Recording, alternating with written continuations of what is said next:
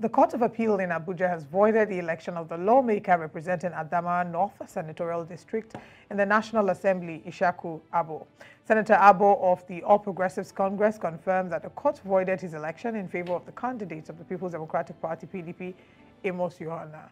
Senator Abbo had won his re-election in the February 25, 2023 National Assembly election, while Yohanna came second as declared by as declared by the Independent National Electoral Commission. Now recall that sometime in September, Senator Abbo spoke well, he spoke with us on the program and he talked about some high-handedness of Senate President Godswill Akpabio and how his Senate leadership is not in the interest of Nigerians. I was never a part of any impeachment plot but meetings have been going on. And some of these meetings, we are not happy with the way Senator Akpabio, the Senate President, is running the Senate. We are not happy. And I can name certain incidents, one, two, three, or four to ten I can name. But for want of time, let me start, maybe I can name three. One,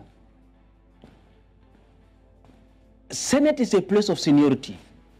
You have ranking in the National Assembly, just like you have seniority in the military. When that ranking is not looked at in uh, maybe allotment of committees, there will be problem. Secondly, there are people who are for and against Senator Akpabio during uh, the, the, the, the run for the Senate presidency. When time came for the allocation of committees, he allocated the entire grade one committees to his loyalists. If you look at this, for example, I will show you a document here. If you look at this, if you look at this, these lines here that you are seeing this one, they read up here. All of this from number one to number 39, they red, red, red, red, red you are seeing. All of us are proper bio people. You can only see two green, which are actually some sort of Yari people, and the yellow one in the center is the one that voted for Yari, but was brought in by somebody that is in government. So the entire from amount number 39 is Akpabio people. And even the vice chairmanship of the committee, the vice chairmanship this side of the committee, out of 39, he only gave 12 slot to, to, to, to the opposition as vice chairmanship. So you took over grade A committees, and even the vice chairmanship you denied was, and you won't have peace. Whose peace? Well, that was uh, Senator Elisha Abbo um, here on uh, Breakfast Central a few, you know, weeks, maybe months ago. Weeks.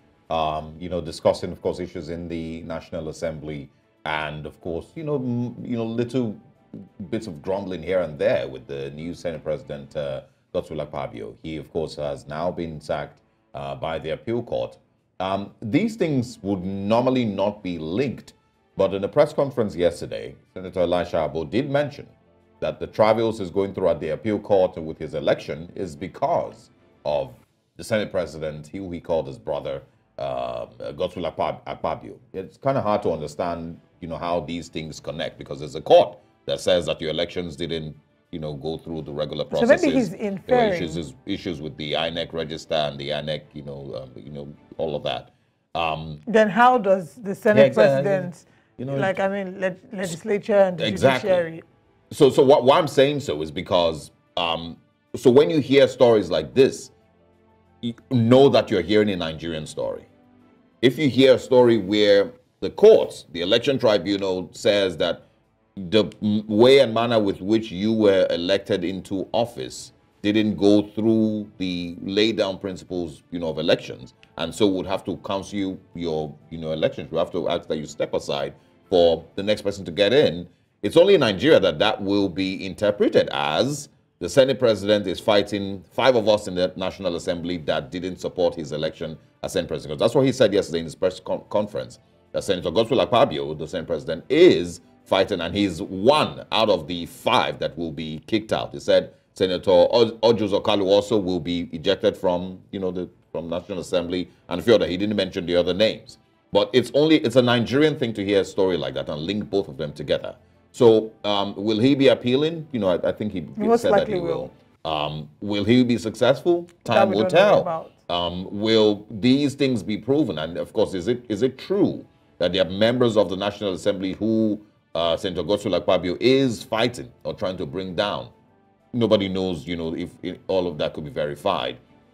Um, but if you remember also, he did, um, he was very vocal um, when he had an interview with us about the issues that they were currently having with the Senate president back then. Yeah, And he, he also mentioned it again yesterday that their members of the National Assembly feel very disrespected by the appointments that have been given to them, the committees that they've been given or not given the National Assembly under Senator Godswill Akpabio. And and I, I mean, in those conversations, I don't think that his agitation was for the Senate president to be removed or to be impeached or to be, you know, in any Oh, way he- he didn't mention office. anything Yeah, he didn't that, mention yes. anything like that. It would seem that all they wanted was a change in the way that he ran office. Yeah. Well, yes, like you mentioned, we don't understand what the correlation between the judiciary and the legislature is, or if he's anyway inferring that the legislature can influence the judiciary. I think it would be great to have him shed further light on that. Yeah, hopefully we can have him back. All right.